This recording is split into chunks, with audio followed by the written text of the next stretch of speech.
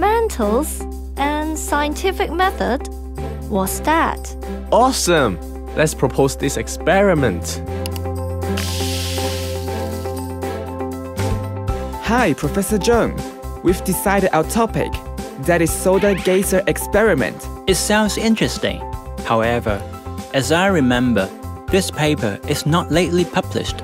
Hmm, it's published in 2007. Do you know how many times this paper has been cited?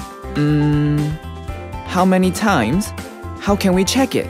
Citation is the way you tell your readers that certain material in your work came from other sources.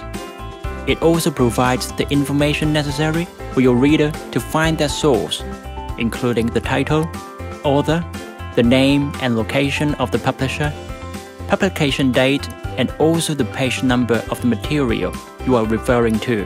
What is citation checking?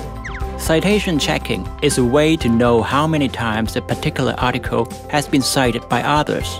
Generally speaking, articles with more citations are said to have a bigger impact on their discipline. High quality articles tend to receive more citation. How to check the citation? You can perform a citation search by using Web of Science.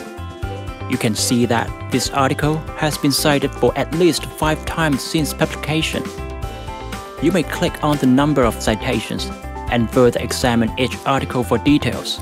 How can we search for the most updated information for our assignments? You can find the most updated information from scholarly journal articles.